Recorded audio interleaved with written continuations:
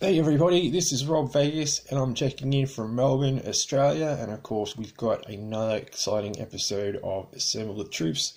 It's just a mini episode with one of these mini 2007 Transformers that were released alongside the tra- live action Transformers movie that came out in that year. Um, now, they did release a whole range of mini Transformers. Obviously, this is Hound the, the, Jeep. He wasn't in that movie, but he did appear later in a different sort of form in another one of the Transformers live action movies. But they did honour him with this little minifigure in 2007, and you can see it's quite a detailed Jeep for its size. Really cool little bit of gear. So what we'll do is quickly transform him, show you the robot mode, and wrap things up. So first of all, um, these bits here, the back of the Jeep, the cargo area, that folds up and that makes what looks like some legs.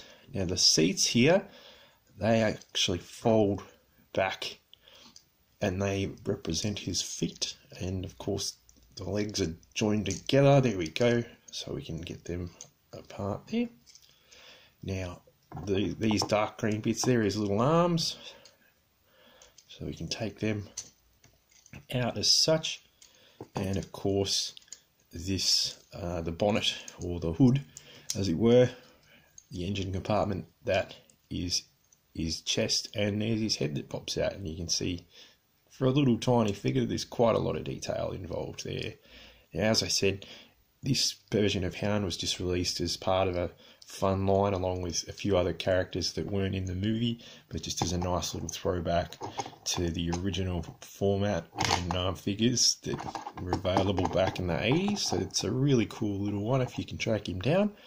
Um, yeah, like I said, they did have Hound in the movie, in or in a later movie. We'll have a look at him in another episode. But um, of course, the original Hound was quite a peace loving chap who just wanted to chill out and explore Earth, whereas the one in the movie was quite a different um, sort of uh, character. But anyway, like I said, that's a story for another day.